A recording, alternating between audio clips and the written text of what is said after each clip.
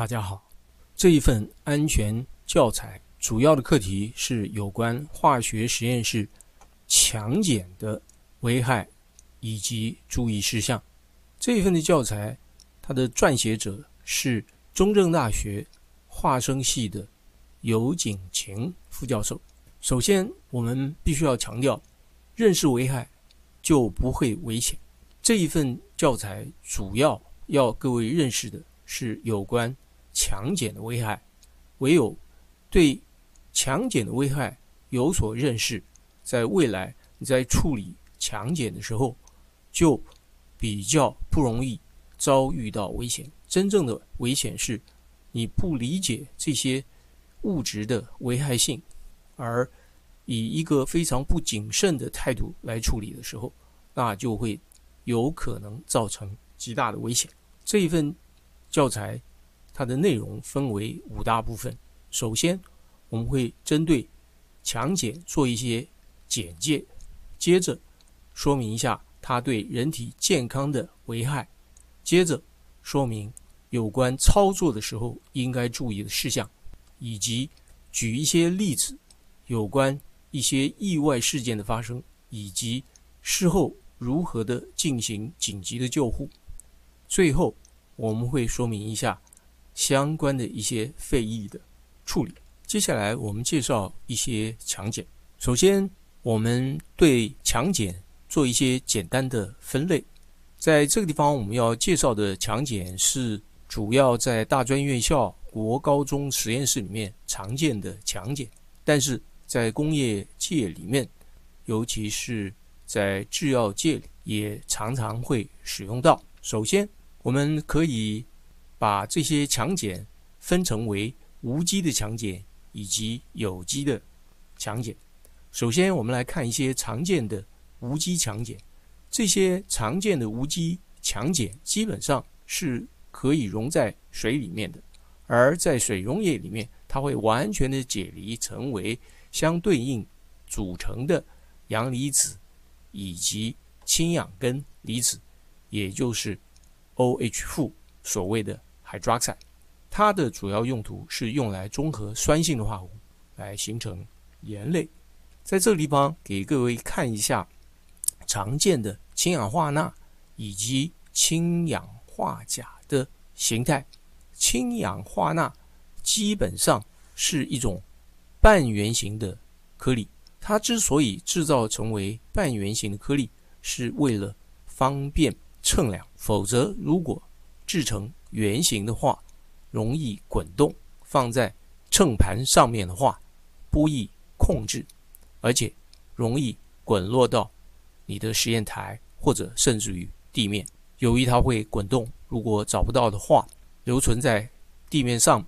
吸了水之后会变成。一种非常滑的粘液，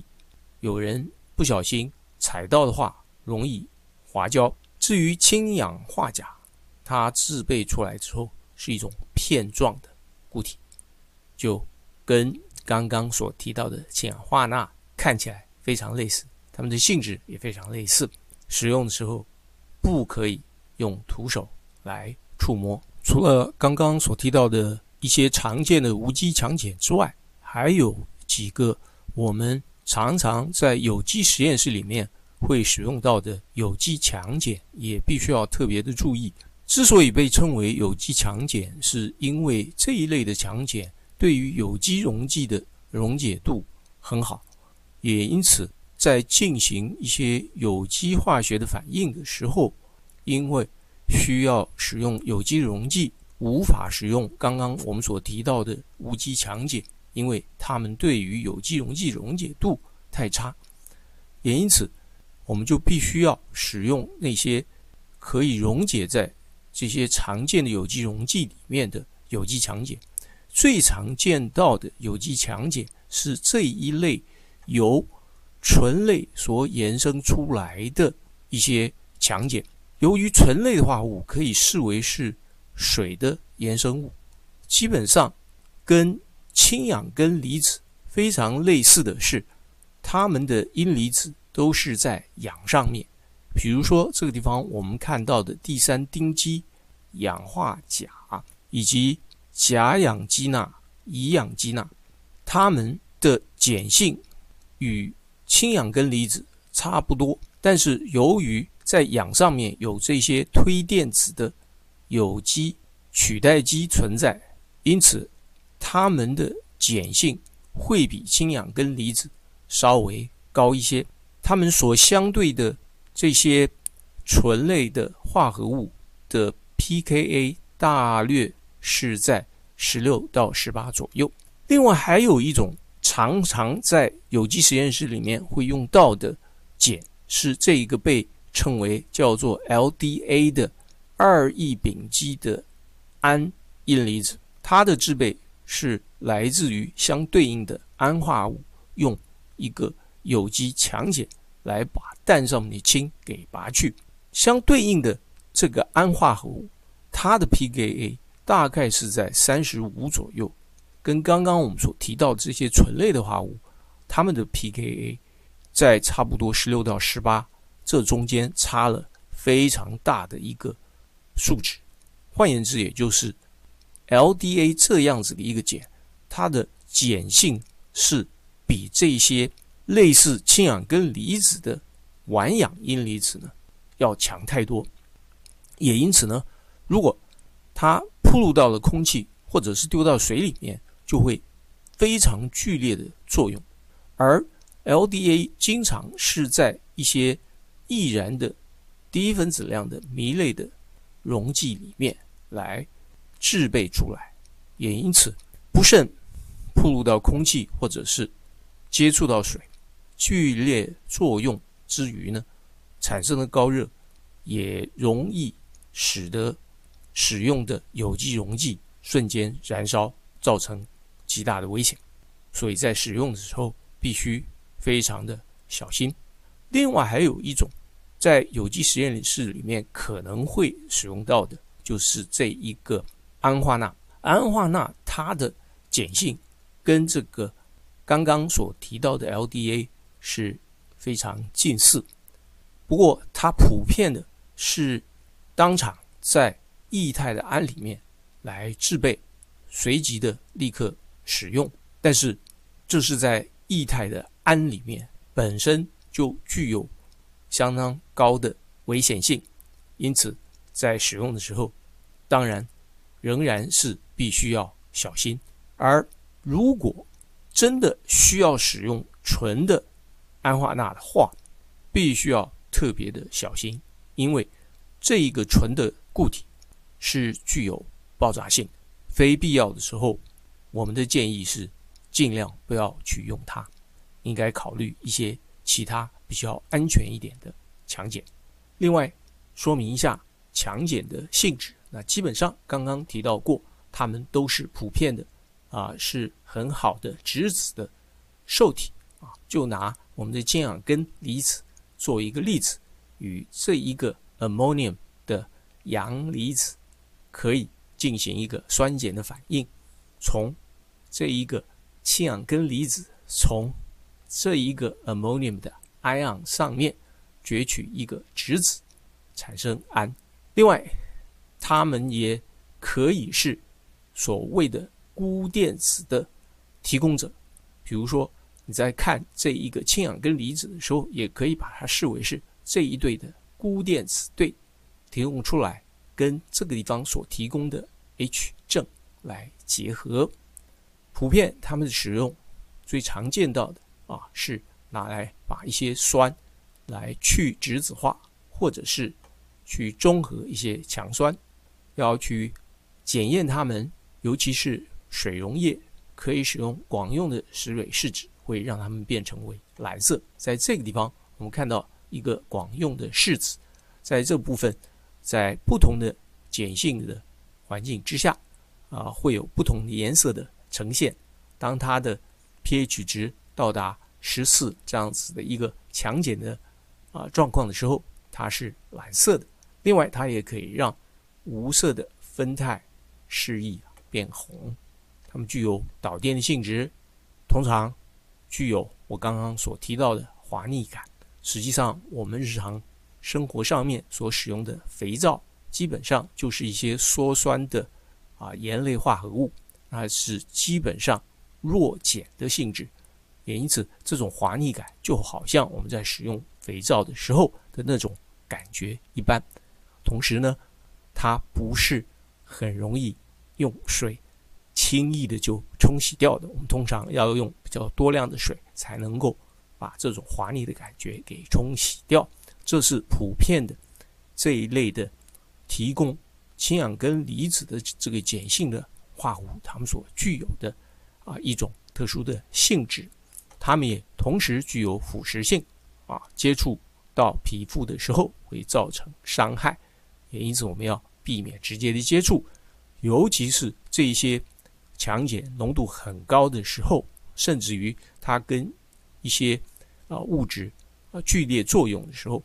有可能会引起燃烧，还有一种，或许我们应该称它们是很强的还原剂的，就是锂、钠、钾这一类的碱金属。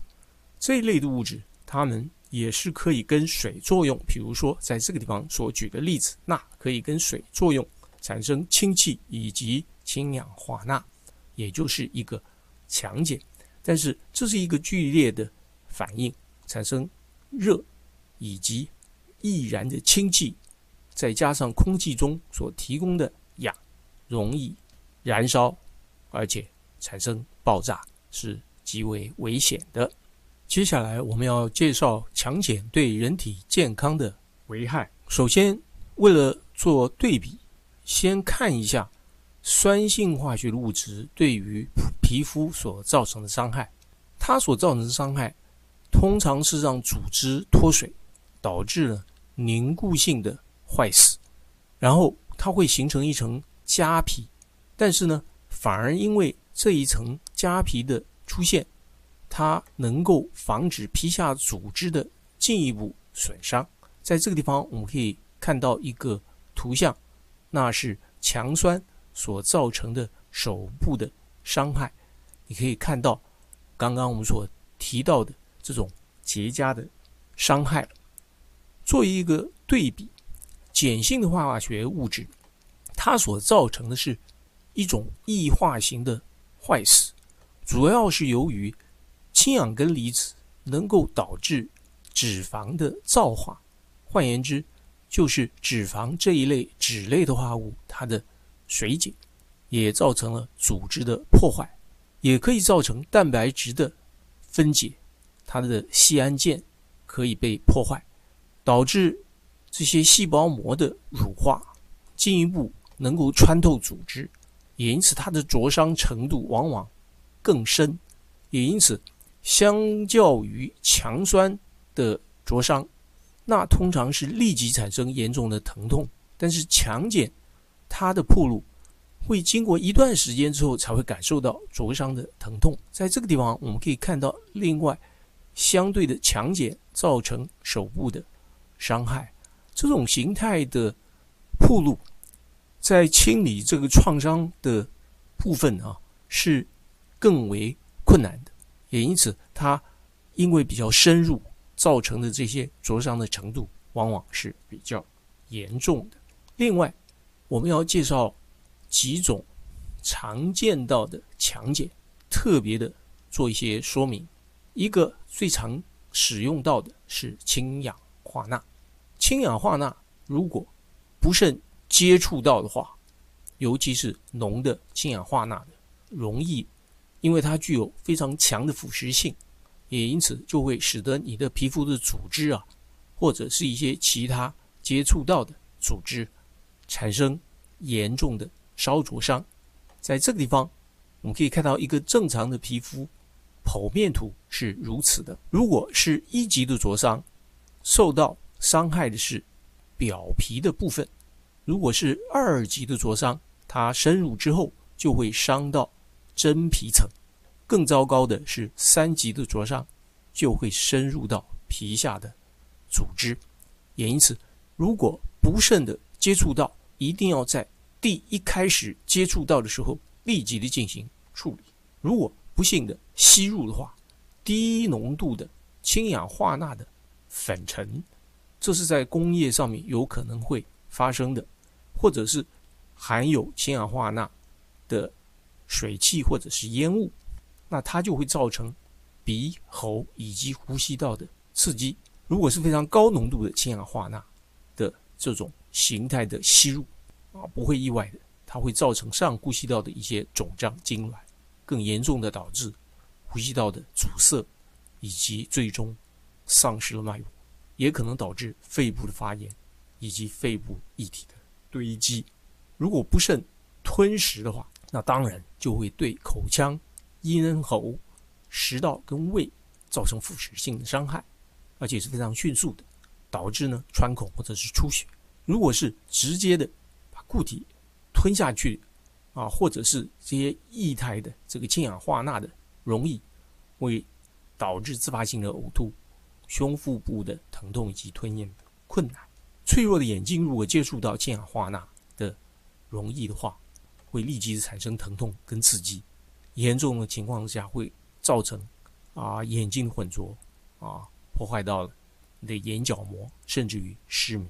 要特别的注意。我们要另外介绍一个比较特殊的试剂，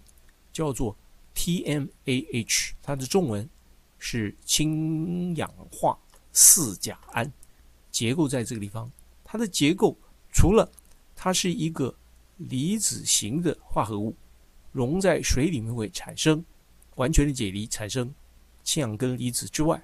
它还有另外这一个四级铵盐的阳离子。等下我们会提到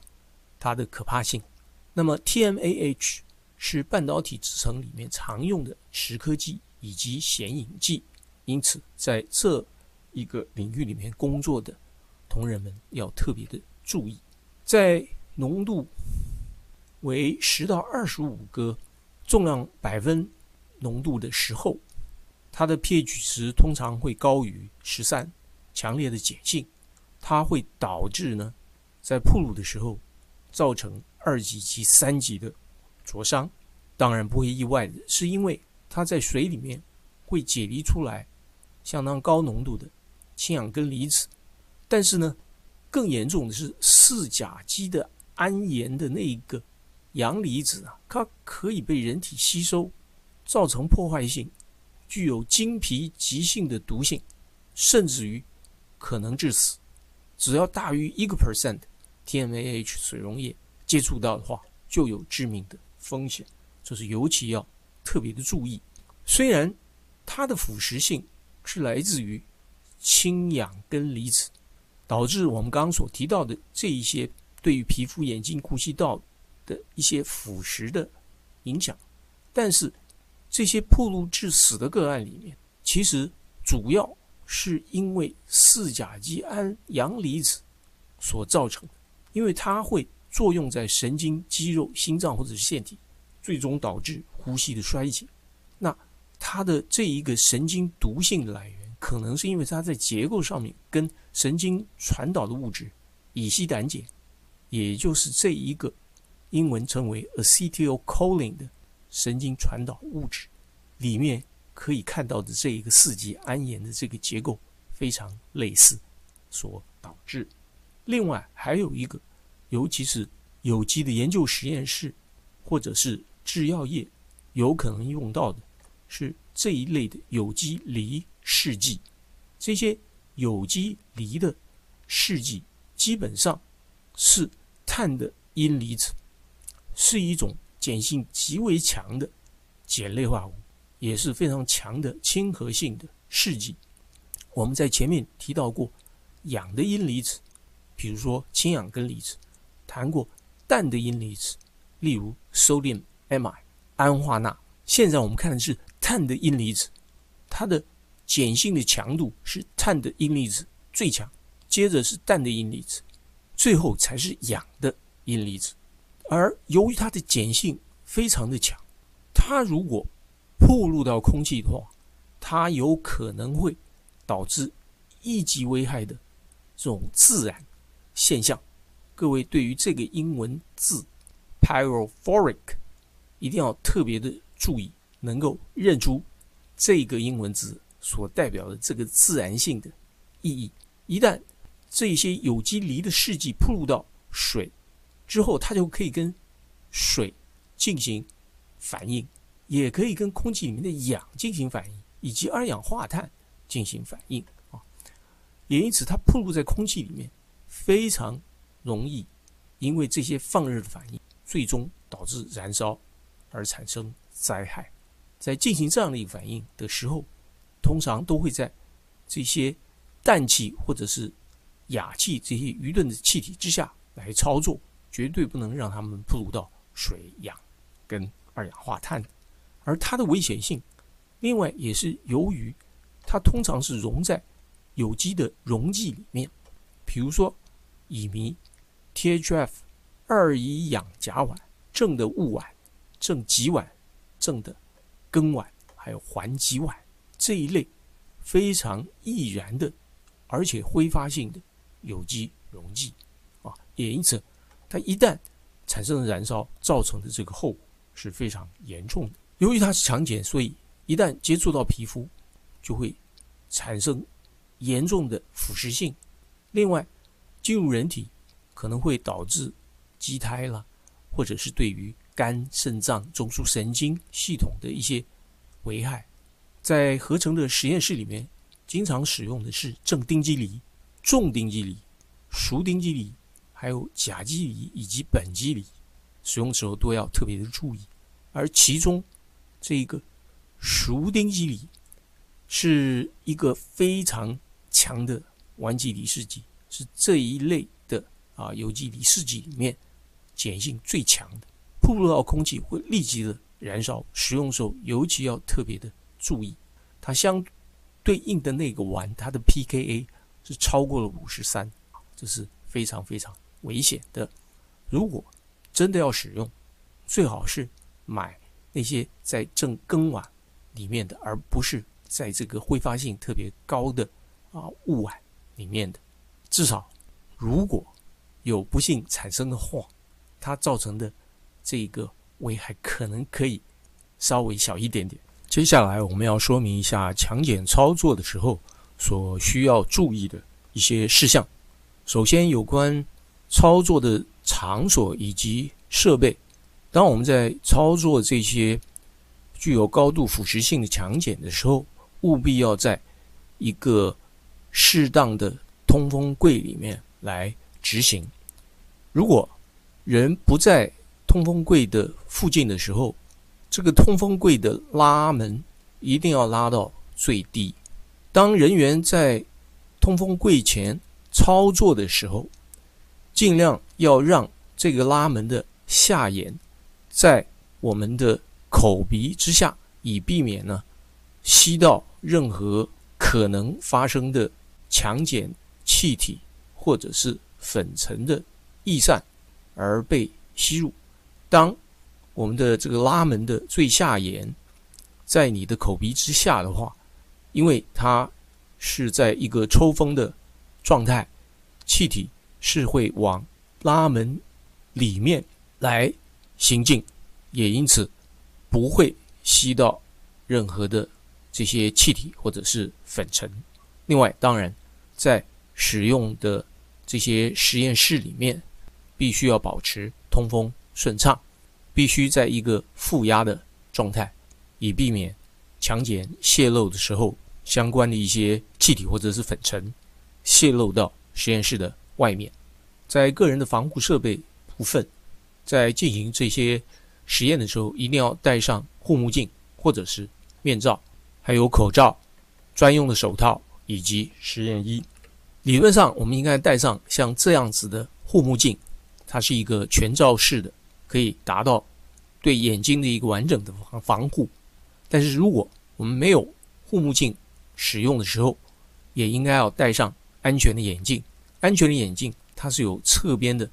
这些防护，仍然可以避免如果有任何的液体的飞溅进入到我们的眼睛里面。如果我们使用一般的眼镜的话，它是没有侧边的。任何的防护，也因此，任何的液体飞溅的时候是非常有机会进入眼睛的。另外，我们必须要注意使用的手套的材料，最好是使用这种形态的丁腈手套，或者是这种形态的一些氯丁橡胶，它们对于强碱的这个耐受力是比较高的。如果是乳胶手套的话，它的基本组成是天然的橡胶，对于水相的酸溶液或者是碱溶液，可以有一些保护的作用，但是它是可以被有机溶剂溶解的，也因此对于那些有机的强碱，因为它普遍的都会在有机的溶液里面，也因此是不具有任何防护力的，要特别的注意。另外，在操作这些高危险性的、这些浓度很高的强碱的时候，或许可以考虑穿戴两层的手套，外面是一般的丁腈手套，里面还有一个啊，比如说丁腈或者是氯丁橡胶的这样子的比较贴身的这种形态的手套，作为两层的防护。另外，针对个别的试剂，像是常使用的 NaOH 或者是 KOH 的，以及一些其他的碱金属的氢氧化物，在使用的时候，尤其是 NaOH 跟 KOH 所配置出来的高浓度的这些强碱的水溶液，在实验室里面常常用来啊清洗玻璃。那像这样子的清洗的碱性溶液呢，应该放在一个像这样子一个形态的。简易桶里面，这个简易桶必须是塑胶的材质，因为强碱是会腐蚀玻璃的，也因此绝对强碱是不可以储存在玻璃的器皿里面。那这种由塑胶所啊制成的简易桶，可以是线型的低密度聚乙烯 （LLDPE） 或者是高密度的聚乙烯 （HDPE）。或者是 PP 的，也就是聚丙烯的材料，那它的浓度普遍的相当高，是差不多是两百到五百克的碱溶在一升的水里面，同时它里面还会加进去八到十二升的酒精异丙醇水的这样子的一种混合液，这代表的意义就是我们刚刚所提到的 latex 这种乳胶的手套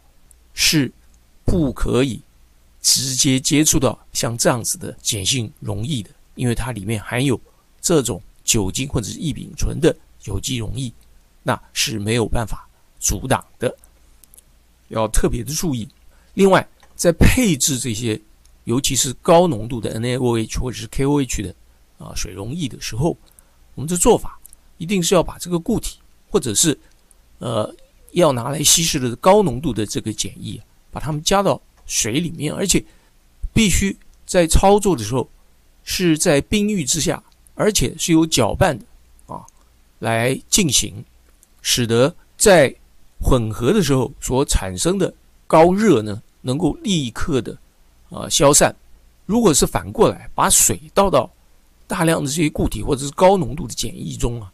立即的产生的高热没有办法立刻的。疏解掉的话，就可能造成碱液的喷溅啊，因为你倒进去的少量的水受到高热会挥发啊，有一种像爆炸一样这样状况的一种喷溅发生呢，是非常危险的。另外，在配置的时候，你虽然可以使用这些硼砂的玻璃，像是 Pyrex 这样子的一个玻璃，那只是作为一个暂时的啊容器。配置的时候方便使用而已，长期的储存必须要放在刚刚所提到的，像是这种高密度的 HD 的 PE 材料的这些塑胶的容器里面啊，绝对不可以用玻璃的啊容器。刚刚提到过，它是会将这个玻璃腐蚀的，尤其是这些储存血清瓶的这种形态的玻璃，不是很强韧的玻璃，那绝对是不可以拿来。储存强碱的水溶液的。另外，说明一下有关我们前面所提到非常危险的 TMAH 这样子的一种强碱化合物。当我们要进行相关的操作的时候，一定要确认先准备好强碱的综合剂，比如说像迪普林这样子的试剂，以及确定紧急的救护包就在附近，避免如果有事故发生的时候找不到他们。另外，一定要带齐全套的防护装备，包括了口罩、面罩，最好戴上安全眼镜，穿上实验衣，手套最好是双层。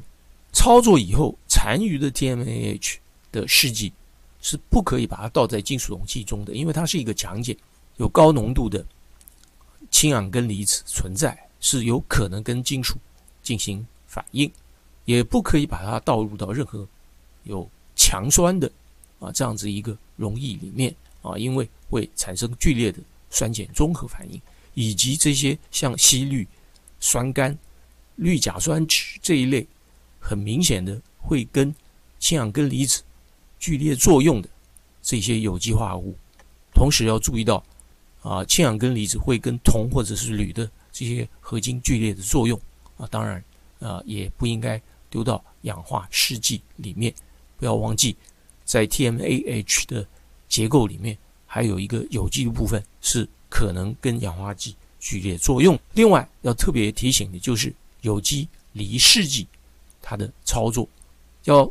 特别的注意到，因为有机离试剂它是具有自燃性的，铺入到空气立刻就有机会燃烧起来，再加上还有有机溶剂的存在，也因此使用时时候要。非常的小心，操作前必须要确认你要用的量，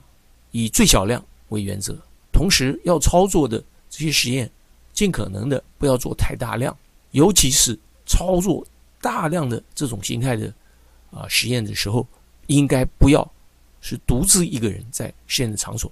进行这种形态的实验。那刚刚提到这样的试剂是技术是很重要的，绝对不可以让它暴露在空气里面。也应该穿戴上完整的个人防护措施啊！我们的实验衣必须要是防焰的，因为如果啊不是防焰的，一旦着了火啊不可收拾啊！什么样的实验衣是可以防焰的？我们在后面会提到。那手套也最好是佩戴双层，护目镜、防护面罩、通风柜拉门拉到最低的一个高度啊，都是。最基础的一些保护的装置。另外，呃，我们操作的这个位置必须要十秒之内可以到达吸烟台以及安全的淋浴装置。那操作以后残余的试剂必须要把它中和，或者用水把它给萃洗掉，才能够收集到强碱的废液桶里面。另外，有关这些强碱药品的储存跟搬运呢？必须把它们储存在一个阴凉、干燥、通风的位置，非常重要的是远离一些酸性的药品、这些氧化试剂以及水源，应该储存在一个防爆的药品柜里面。啊，各位可以看到这个柜子，它都是有金属的一个框架，比较安全。另外，我们要把这些强碱的试剂或者是药品。放在一个塑胶的称盘里面，而这个称盘必须要大于这个药品一半的高度，它的容量必须要能够盛装。假设这些瓶子里面的液体或者是固体泄露出来之后，啊，不会溢出。同时，我们的碱性的这些药品必须要分类存放。另外，这些药品柜应该要上锁，啊，避免地震掉落到外面。啊，或者是避免不相干的人员不正常的取用。另外，因为强碱的药品具有腐蚀性，不应该把它储存在高处，而应该是低于一点五公尺的的一个高度，以避免呢取用的时候倾倒造成危险。搬运的时候也应该把它放在像这样子的一种秤盘里面来搬运，避免一不小心倾倒泄漏造成人员的。损伤。另外，尤其是我们前面提到过，基本上一些有机的、具有高还原性的啊强碱，应该定期的进行检查。接下来我们要介绍几个意外事故的范例，以及事后的一些紧急救护。首先要提的一个例子是一些高中学生在进行科展的化学实验的时候，发生了烧杯爆破的意外。主要的原因是因为他们正要准备搅拌一个强碱的溶液，但是没有注意到他们所使用的搅拌棒上面还有没有擦干的水滴，结果造成了这个水分和强碱发生了剧烈的放热反应，瞬间的释放大量的气体。而使得这个玻璃烧杯当场的爆破，强碱的液体泼洒出来，造成了灼伤。它造成的伤害是，使得有一名学生的右眼造成了三度的灼伤，导致了最后裸视的视力只剩下零点二。这个事故告诉了我们，当我们在配置强碱的溶液的时候，一定要像我们前面所提到的。把这些浓的碱液或者是固体加到水溶液中，而且是缓慢的处理，而不是一瞬间全部把它倒进去。而且在进行这样的一个稀释的过程里面，一定要在冰浴之下来进行，而且需要有搅拌。另外，他告诉了我们，在搅拌这些强碱的溶液之前呢，必须要确定。你所使用的这些器具，它没有残余的一些水分存在。另外，当然，因为这个例子造成了眼睛的灼伤，所以戴好护目镜是真正非常重要的。另外，当然也应该穿戴好个人的安全防护设备。另外，这个例子是在大学的一个实验室里面所发生的事情。研究助理在进行一个酸碱中和的时候，发生了气爆的意外。在这样子的一个事故里面，在进行氢氧化钠的酸碱的中和的时候，显然操作不慎，造成了跟刚刚一样烧杯受热，瞬间放出大量的气体而爆炸。这个事故造成的结果是，当事人他的右手当场被玻璃割伤，身上有很多的灼伤，伤势相当的严重。实验桌上的器材甚至于都烧成了焦黑，周围都是气爆的痕迹。这个事故。告诉我们，再一度的酸碱的中和的实验必须在冰浴之下来进行，而且是缓慢的执行，而且必须要在通风柜里面进行。应该把拉门拉低，来保护至少胸部以上的部位，避免呢受到这些爆炸喷溅的时候有大面积的暴露。另外，当然再一度的戴好护目镜。穿戴好个人的安全防护设备是非常重要的。这个意外是在产业界所发生过的事例，是一个南部的一个半导体工厂，有一些人员在进行废液管线的工程，一不小心被沾染到了百分之二点三八的 TMAH，而其中的一位人员呢，被沾染到 TMH 的手套碰到了脸部。另外一人，他的左手腕以及右侧脸部也被喷溅到；还有一人，他的右手掌受伤。所幸，这个接获通报以后啊，工厂的健康人员立刻及时的初步处理移除污。消防局也派出救援人员呢，到了现场，使用了迪芙林来清洗以后，把患者送医。很幸运的，这个例子里面没有造成很大的伤害，除了脸部跟手部轻伤。两名当事人都没有很大的伤害，也因此他告诉了我们，意外发生时候的正确处理可以有效的降低伤害。下面这个例子是一个在国际上非常著名的例子，美国的一个知名的一个大学，有一位新进的没有经验的研究助理，他使用了大量的熟丁基锂，也就是 T-butyl lithium。我们在前面提到过这样子的一个试剂，它具有自燃性，非常危险的一种试剂。事故的发生的原因是因为这一位助理，因为他没有经验，他使用了一个容量为六十毫升的塑胶针筒，经过多次来取用熟丁基锂，每一次要吸取五十毫升的量。再强调一遍，这一个塑胶针筒的。容量是六十毫升。那吸取五十毫升的量的话，代表的是那一个活塞必须要拉到非常的后方，也因此，这位助理一不小心把这个整个塞子完全拔出了针筒，也就导致了这熟丁基里接触到空气，而且应该有一些喷溅到他的身上，而熟丁基里一接触到空气就会立即燃烧起来。这位当事人他没有穿实验衣，导致了他身上所穿的聚酯纤维材料的上衣，甚至于他的丁腈手套也都燃烧了起来，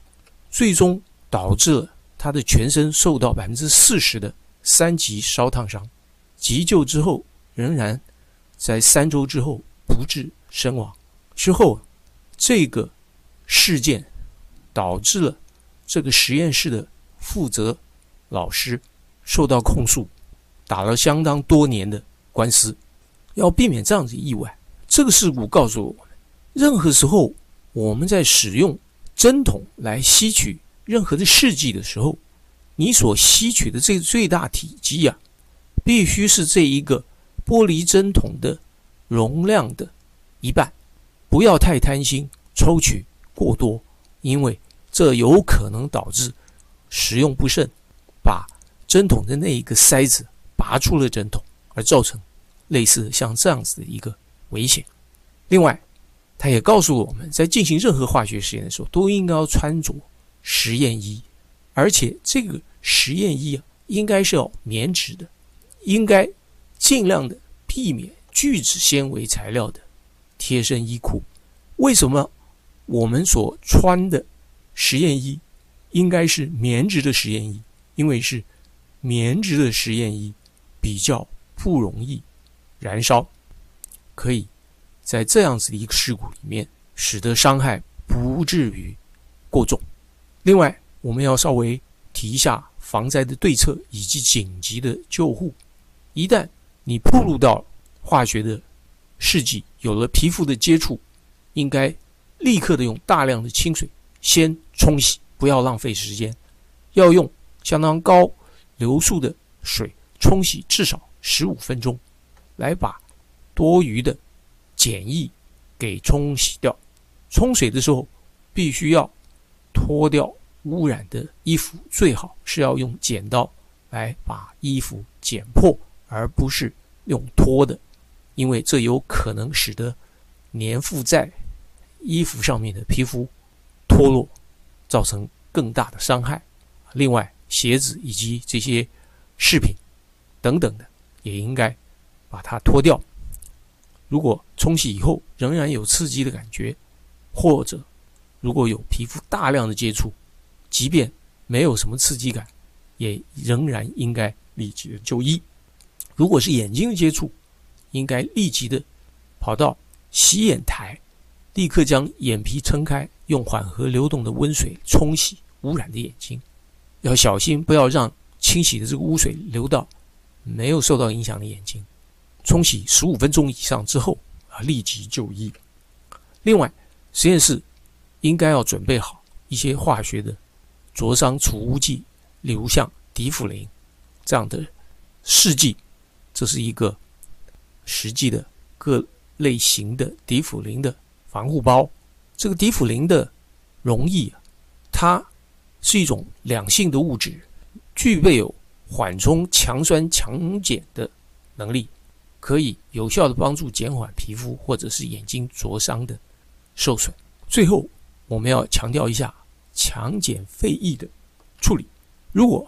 废液的 pH 值大于十二点五啊，或者是这些处理过的强碱物质的液体。都应该归类为强碱的废液，应该把这些强碱的废液放置在合格的高密度聚乙烯，所谓的 HDPE 材料的废液桶，类似像这样子的蓝色的，或者是这种白色的，不可以使用金属的容器盛装，尤其是由铜或者铝或者是其他的一些金属的容器。废液桶，它的称装呢不可以超过八分满，必须确认桶盖是完全锁紧，以避免收集过程中产生渗漏的状况。同时，这些废液桶也必须放在称装盘里面，而称装盘也必须确认它的体积是可以容纳里面所放置的这些废液桶。如果完全泄漏的话，不会漏出来。最后，谢谢各位的收看。这个计划的经费是由行政院环境保护署毒物及化学物质局赞助。